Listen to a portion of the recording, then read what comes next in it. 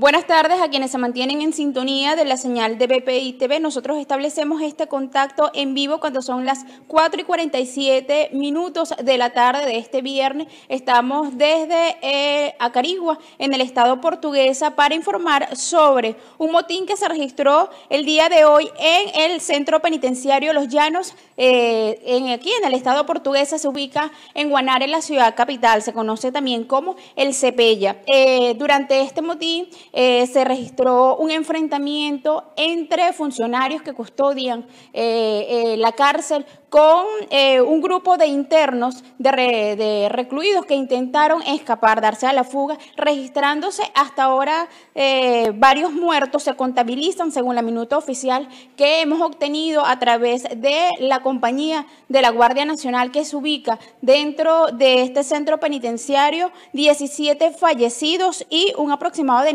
de nueve heridos, según el reporte que eh, expresa la Guardia Nacional. Sin embargo, no descartan que el número de heridos se, se, amplíe y también de fallecidos. Manifiestan que todo se registró cuando eh, un grupo de internos intentaron tumbar la cerca perimetral del centro penitenciario en medio de una, em, una unas palabras que tenían con el comandante de la compañía. Durante este hecho también se registró la detonación de una, un artefacto explosivo, una granada, donde resultó herido una teniente con cinco esquirlas eh, que fueron lanzados en el, interior, en el interior del comando. También el ciudadano Carlos Toros, director del penal de este penal que se ubica en Guanare, resultó herido con eh, con objeto punzo penetrante en la espalda y en la región occipital.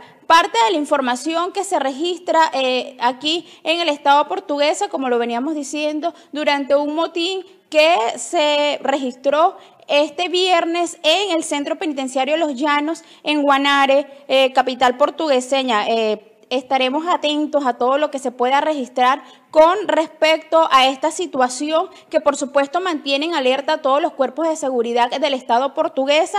Eh, sabíamos que diferentes... Mm, eh, comisiones de los organismos de seguridad se están desplazando desde la misma capital hasta el centro penitenciario y también desde las ciudades de Acarigua, Araure, incluso con eh, funcionarios del Ministerio Público para constatar la situación. Hasta el momento no se tiene un número preciso de muertes porque podrían ascender eh, a debido a que las autoridades no han podido ingresar al interior del penal. Se contabilizan hasta ahora, como ya lo dije, 17 fallecidos según el reporte emitido por la Guardia Nacional y 9 heridos. Esta es la información que nosotros tenemos cuando son las 4 y 50 minutos de la tarde y con ella les invitamos a que sigan en sintonía de la señal de BPI TV porque estaremos eh, trayendo más avances sobre esta situación que se registra en la ciudad de Guanare, específicamente en el centro penitenciario Los Llanos de Portuguesa. Esta transmisión es presentada por... Para alcanzar el éxito, necesitamos estar acompañados, trabajar en equipo en un mismo objetivo. ¿Y a ti? ¿Quién te acompaña?